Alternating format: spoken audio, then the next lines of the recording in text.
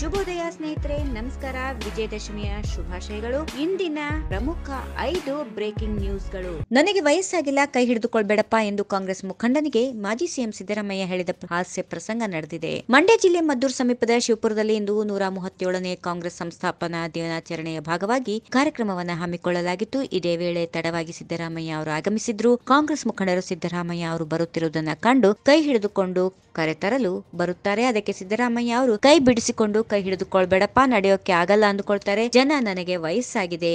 ಅಂತ ಅಂದ್ಕೊಳ್ತಾರೆ ಎಂದು ತಮಾಷೆ ಮಾಡಿದ್ರು. ಎರಡು ದಿನ ಬಿಜೆಪಿ ಕಾರ್ಯಕಾರಿಣಿ ಸಭೆ ಆರಂಭವಾಗಿದೆ. ಕಾರ್ಯಕಾರಿಣಿಯಲ್ಲಿ ಹಲವು ಮಹತ್ವದ ವಿಚಾರಗಳು ಚರ್ಚೆಗೆ ಬರಲಿವೆ ಎಂದು ತಿಳಿದು ಬಂದಿದೆ. ಬೆಳಗಾವಿ ಭಾಗದ ನಾಯಕರಾದ ರಮೇಶ್ ಜಾರಕಿಹೊಳಿ ಹಾಗೂ ಬಾಲಚಂದ್ರ ಜಾರಕಿಹೊಳಿ ಇತ್ತ ಮುಖ ಮಾಡಿಲ್ಲ. ಕಾರ್ಯಕಾರಿಣಿಯಲ್ಲಿ ಬೆಳಗಾವಿ ಪರಿಷತ್ ಚುನಾವಣೆಯ ಫಲಿತಾಂಶದ ಕುರಿತು ಪ್ರಮುಖ ಚರ್ಚೆ ನಡೆಯಲಿದೆ. ಇಲ್ಲಿ ಬಿಜೆಪಿ ಅಭ್ಯರ್ಥಿ ಪರಾಭವಗೊಂಡಿದ್ರು. ಸಭೆಯಲ್ಲಿ ಸೋಲಿನ ಪರಾಮರ್ಶೆ ನಡೆಯಲಿದೆ. ಆದರೆ ಜಾರಕಿಹೊಳಿ ಬ್ರದರ್ಸ್ ಗೈರು ಎದ್ದು ಕಾಣುತ್ತಿದೆ. ರಾಜ್ಯ ಬಿಜೆಪಿ ಸರ್ಕಾರದ ಸಚಿವ ಸಂಪುಟದಲ್ಲಿ ಮೇಜರ್ ಸರ್ಜರಿ ಆಗಲಿದೆ. ಮುಂದಿನ ಸಂಕ್ರಾಂತಿ ವೇಳೆಗೆ ಸಚಿವ ಸಂಪುಟದಲ್ಲಿ ಸಂಕ್ರಾಂತಿ ಜರುಗಲಿದೆ. ಮುಂದಿನ ಮುಖ್ಯಮಂತ್ರಿ ಅಭ್ಯರ್ಥಿ ಎಂದೇ ಬಿಂಬಿತವಾಗಿರುವ ಬೃಹತ್ ಕೈಗಾರಿಕಾ ಸಚಿವ ಮುರುಗೇಶ್ ನಿರಾಣಿ ಸೇರಿದಂತೆ ಕೆಲವರು ಸಚಿವ ಸ್ಥಾನದಿಂದ ನಿರ್ಗಮಿಸಲಿದ್ದಾರೆ ಎಂದು ಹೊಸ ಸಂಗತಿಯೊಂದು ಬಿಜೆಪಿ ರಾಜಕೀಯ ಪಡಸಾಲೆಯಲ್ಲಿ ಚರ್ಚೆಗೆ ಹುಟ್ಟುಹಾಕಿದೆ. ಮುಖ್ಯಮಂತ್ರಿ ಬಸವರಾಜ ಬೊಮ್ಮಾಯಿ ಬದಲಾವಣೆ ಆಗುತ್ತಾರೆ ಎನ್ನುವ ಸುದ್ದಿ ಇದೀಗ ಹಬ್ಬಿದೆ. ತೆರವಾಗಲಿರುವ ಸಿಎಂ ಸ್ಥಾನಕ್ಕೆ ಬೃಹತ್ ಕೈಗಾರಿಕಾ ಸಚಿವರಾದ ಮುರುಗೇಶ್ ನಿರಾಣಿ ಆಯ್ಕೆಯಾಗುವ ಸಾಧ್ಯತೆಗಳಿವೆ ಎಂದು ದೊಡ್ಡ ಸುದ್ದಿಯಾಗಿತ್ತು. ಇತ್ತೀಚೆಗೆ ಬಿಜೆಪಿ ಪಾಳಯದಲ್ಲಿ ಮಹತ್ವದ ಬೆಳವಣಿಗೆ ಜರುಗಿವೆ. ಮುಖ್ಯಮಂತ್ರಿ ಅಭ್ಯರ್ಥಿ ಎಂದೇ ಬಿಂಬಿಸಿಕೊಂಡಿದ್ದ ಮುರುಗೇಶ್ ನಿರಾಣಿಗೆ ಸಚಿವ ಸ್ಥಾನದಿಂದ ಕೊಡಲಾಗುತ್ತಿದೆ ಕೊಡಲಾಗುತ್ತಿದೆ ಎಂದು ಹೇಳಲಾಗುತ್ತಿದೆ.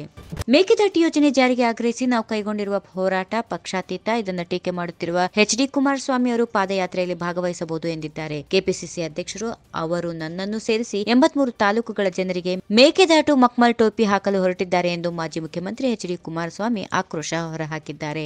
ಜೆಡಿಎಸ್ ಹಾಳಾಗಲಿ ಎಂದು ನಾನು ಯಾವತ್ತೂ ಹೇಳಿಲ್ಲ. ಜೆಡಿಎಸ್ ಪಕ್ಷ ಉಳಿಯಬೇಕೆಂಬುದು ನನ್ನ ಬಯಕೆ ಎಂದು ಶಾಸಕ ಜೆಟಿ ದೇವೇಗೌಡ ಹೇಳಿದ್ದಾರೆ. ಸುದ್ದಿಗಾರರೊಂದಿಗೆ ಮಾತನಾಡಿದ ಅವರು, ವಿಧಾನ ಪರಿಷತ್ ಚುನಾವಣೆಯನ್ನ ಪ್ರತಿಷ್ಠೆಯಾಗಿ ತೆಗೆದುಕೊಂಡಿಲ್ಲ. ನಾನು ಜೊತೆಯಲ್ಲಿದ್ದು ಮೋಸ ಮಾಡಿದ್ರೆ ತಾಯಿಗೆ ಮೋಸ ಮಾಡಿದಂತೆ ನಾನು ಎರಡು ವರ್ಷಗಳಿಂದ ದೂರ ಉಳಿದಿದ್ದೆ. ಹೀಗಾಗಿ ಉತ್ತರ ಕೊಡಲು ನಾನಿನ್ನು ಚುನಾವಣೆಗೆ ನಿಂತಿರಲಿಲ್ಲ ಎಂದು ಕುಟುಕಿದ್ದಾರೆ.